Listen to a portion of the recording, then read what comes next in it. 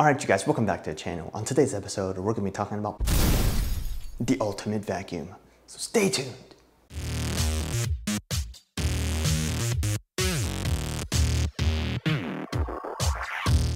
All right, guys, so back in the olden days when you wanted to buy a pretty good cordless vacuum, you ended up buying something like this. This is the Dyson V8 Absolute. Um, Absolute, Animal, whatever, the, all the vacuum heads are the same. The Absolute and the Animal, only thing difference really is the, attachments and stuff that come with it. But this one right here is pretty much a Dyson V8 Absolute. I got other cleaner heads and attachments otherwhere else, but it's got some wild styling colors and stuff. But underneath all these colors, they're somewhere around 74 inches of suction, um, 45, 46 um, CFM, um, pretty really small dust cut, um, some carbon fiber bristles, and a rechargeable lithium ion battery. Starting with the V8s, they had like HEPA filtration on every model or every line or whatever you want to call it. Um, V7, you could get some uh, with HEPA, but you had to make sure you got the HEPA model. Um, but anyways, Dyson is generally known or considered on the market to be one of the top end um, vacuum manufacturers. But I think these things can be pretty improved. I mean, one of the biggest, one of my biggest gripes about this thing is the dust cup, obviously, uh, but it's a cordless vacuum, so they're pretty much designed to be pretty small, but it's pretty much the build quality. I mean, look at this. This, this plastic feels a little cheap. Um, and look, look at the slack on this thing. I don't know if you can see that, but this, look at the slack on this. And then when you put it down, it's kind of got a tilt here like this. Obviously, no one really stores most people probably don't store it like this. They probably store it up on the wall and hanger that it comes with. But I mean, with a lot of like motion going like this, it's pretty much prone to failure. Um, this plastic just feels cheap. Sure, it's shiny and looks cool and stuff, but it scratches easily.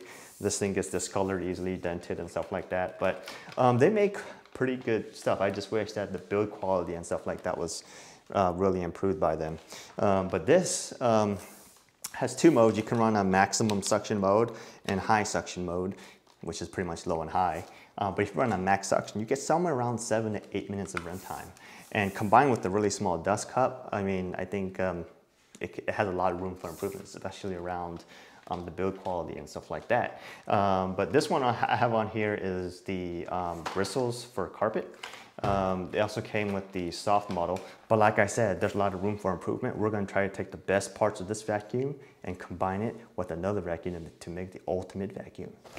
All right, guys, so this is the Milwaukee M18 Fuel 3-in-1 backpack brushless vacuum.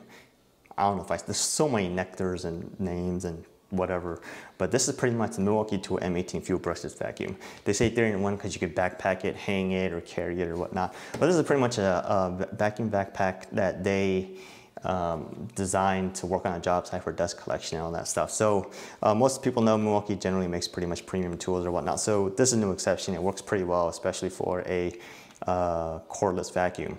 Um, let's go over some quick specs real quick. I think on paper it has somewhere around 74, 76 inches of water lift suction.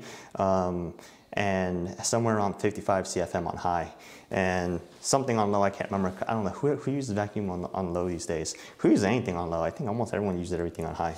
But, um, and with my configuration, meaning 12 volt, I got a 12 volt battery right here. Um, and with this 12 volt battery, I think I was getting somewhere around 31 to 32 uh, minutes of runtime on high.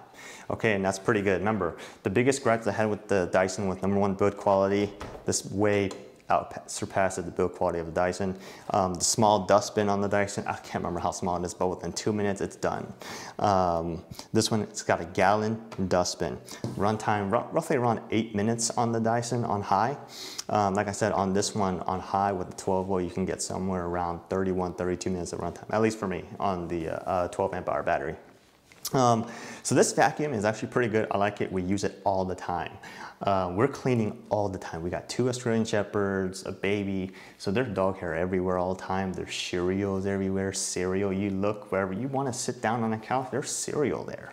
All right, there's stuff everywhere. So we're pretty much vacuuming. And like I said, the biggest gripe with that Dyson was the dust cup. But every once in a while, you'll find like a small Cheerio stuck inside the dust port in the vacuum, and it's really hard to get out.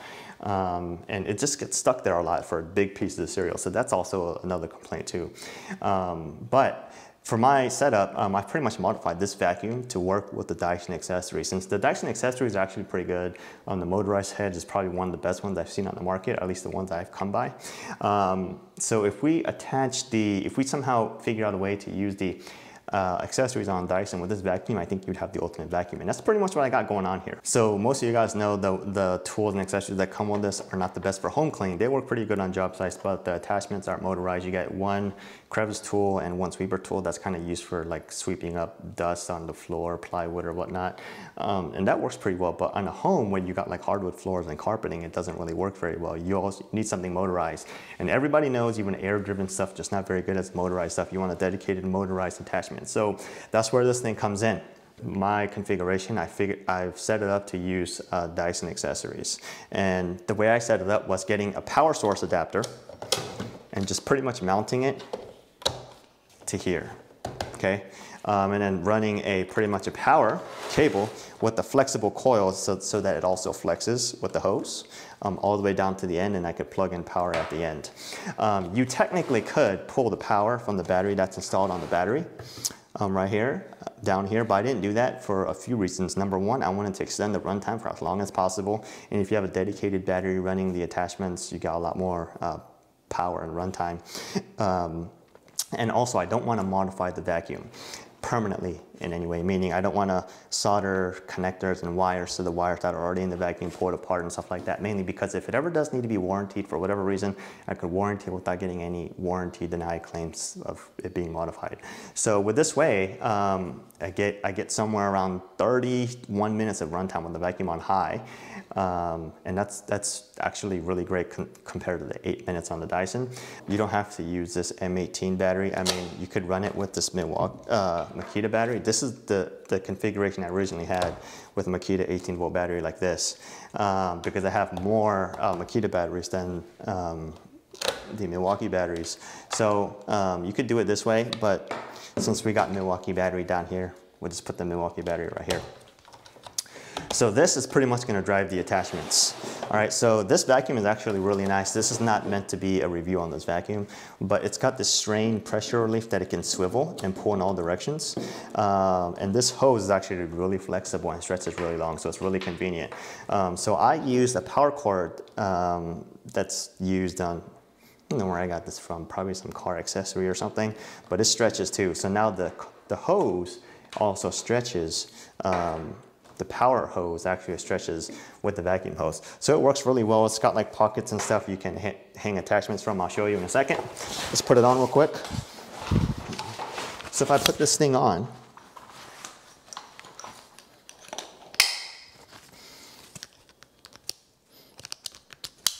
all right, you got my you got your hose here that has pretty much all your attachments uh, or your your belt here that pretty much has your attachments at least the ones I use the most. So if I'm vacuuming like so the attachment just pull it right out use it put it back in. So you're gonna you're gonna ask how, how do I get the hose on here? Actually it's pretty pretty simple. So this right here is the absolute um, or no this is a soft cleaner brush roll or brush head or motorized head, I don't know, whatever you want to call it. But this is the soft cleaner head. On the Absolute one, you get pretty much all the attachments.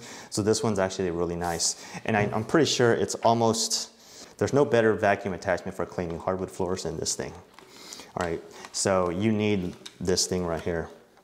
I don't know where that came from, but we'll vacuum that up in a bit. But anyways, um, so this actually runs really well. You can use, since we're using the uh, vacuum hose from the Dyson, you can pretty much use all the Dyson accessories that come with it. Um, don't worry about this Velcro here. Originally I had a design where um, the battery was resting here because I didn't want to put on the vacuum so I could just have no cord here. Um, but it got really awkward really fast, so don't worry about that. So that doesn't do anything now. So this hose, this end of this hose without the special adapter actually fits perfectly on here. All right, so now um, I would just plug this in, put the vacuum on high,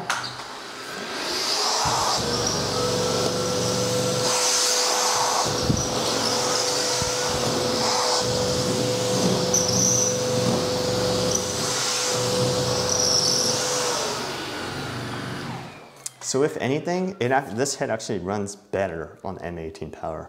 Most of you guys know the, the power wheels hack with the 12 volt battery, same difference here. Um, and it's really convenient because if I'm vacuuming like so, and I get up to, I don't know, say a corner or something and I want to take that off, just take this head off, put this dusting brush, I don't know what it's called, but it's called dusting brush, right? You just go here, vacuum, take it off, put it back. You don't have to put it back, but I'm putting it back. Then you could just put this back on and go, right? So it's actually really convenient because like I said, I could vacuum like this for roughly around 31 minutes of runtime on just 112.0. Um, you could put a 2.0 on this power source adapter here. Um, I didn't do that, like I said, because I have 5 volts are the most common ones that I have. It works really well. It's pretty comfortable. It's on your backpack. Most of the weight's on your back, so you don't really have any weight on your vacuuming arm or the realized weight on your vacuuming arm is really light. So this is pretty much what I would say is a really good setup. The suction, meaning the cyclonic action on the Dyson is way, way surpasses um, the Milwaukee cyclonic action because this just has one big cyclone, whereas the Dyson has one big cyclone in the middle, middle and a bunch of external smaller cyclones that really um, let the dust drop to the bottom. So that one is actually really good. The dustbin is right here and it's easily removed. You pull this out, you press it down, you pull this out and you hit this and everything falls out. There's really nothing in here for it to catch to.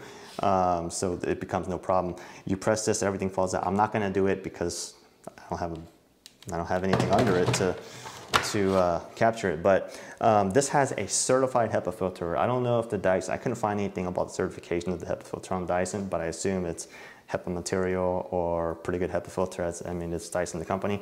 But this fil filter here on the Milwaukee is a certified HEPA filter, and you can um, just get replacements. I think the replacement filters are somewhere around like 20 $25. So you don't really have to replace it. I haven't replaced it yet. It works pretty well. Um, every couple times, every couple dustbins, I'll go outside and just either use compressed air or just drop or shake it on the ground to let the loose things fall out. But like I said, this works really well. I'll throw out some clips of um, vacuuming. Um, I can pretty much get around the whole house uh, without um, running out of battery or without the dustbin being full, as long as I start with everything empty. And all the attachments are carried right here, so it actually works really well. The only other, there's about two other cordless backpack vacuums I know of. Obviously the Makita one, um, the two, the 36 volt to 18 volt setup. Um, I didn't like that one. I looked at it a lot before I picked up this one, um, but I thought this one was just a little bit better, mainly due to the specs on paper. Um, also, the dustbin on the Makita uses the bag, which is can technically be better, but it's pretty small. Um, and the other one, I think is made by Pro Team, and that thing is somewhere around like $1,500, $1,600. Whereas, um, and you don't get um, I mean, that thing is like a proprietary thing myself. So if you're already in a tool lineup and you, and you have Milwaukee tools, obviously this is the way to go. Um, if you're in the professional cleaning business and you just need that one vacuum, the Pro Team may be the way to go, I don't know.